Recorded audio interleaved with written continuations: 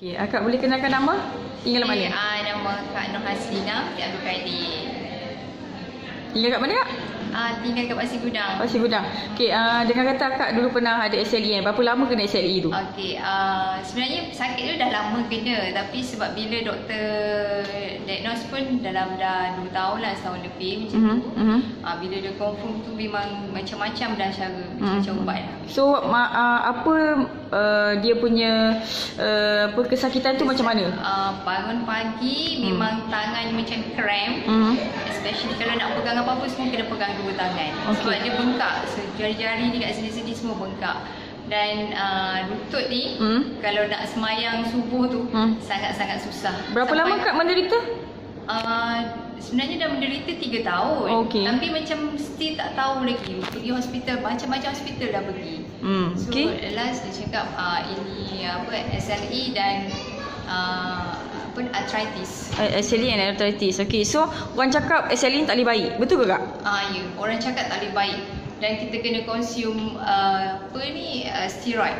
Hmm. Tapi so far sebab saya saya tak nak ambil steroid, so saya cuba. So bila diperkenalkan pada produk ni Hmm. uh, dengan Forever ni, Hmm. setelah saya consume 2 minggu saya dah nampak dah tak ada rasa sakit-sakit. Hmm. So saya teruskan sampai 2 bulan alhamdulillah memang dah tak ada. Hmm, Okay, okay. Cukup, So, cukup. uh, berapa lama akak ambil masa untuk uh, apa pulih sepenuhnya? Uh, lebih kurang dalam 4 bulan. Sekarang, sekarang ni bila jumpa doktor memang doktor cakap memang dah tak ada sel, sel, SLE tu memang tak ada lah. Ya. Oh, okay. So, apa perasaan akak lepas lepas dapat jumpa penawar tu? Alhamdulillah sangat-sangat bersyukur dan saya harap sangat sebab suka sangat share dengan orang Hmm. macam uh, tak ada penyakit yang tak ada ubat. Kan? Ah ya. Hmm. So apa apa uh, kata-kata akak untuk orang kat luar sana yang uh, skeptikal sangat tentang suplemen? Hmm, sebenarnya uh, uh, jangan rasa takut untuk mencuba especially macam untuk forever ni sebab dia bahan organik. So memang untuk sangat-sangat sesuai untuk segala penyakit-penyakit sendi especially. Okay, so macam mana akak boleh percaya dekat produk Forever ni sebelum ambil tu? Yalah se- sebab selama ni kan ramai orang dia skeptikal kan. So macam mana akak boleh percaya?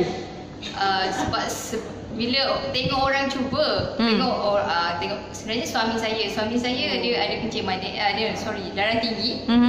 So bila tengok dia punya darah tinggi okey dan dia makan tu perut dia moncek jadi nipis Ha. uh, sebenarnya situ start bila kita banyak sangat makan ubat badan naik Mhm. so saya rasa macam eh nak so saya Hmm. nak try makan tu sebenarnya untuk benda lain untuk Hmm. kurus juga Hmm. tapi tahu-tahu tengok semua penyakit semua okey alhamdulillah Okay, alright. Terima kasih kak.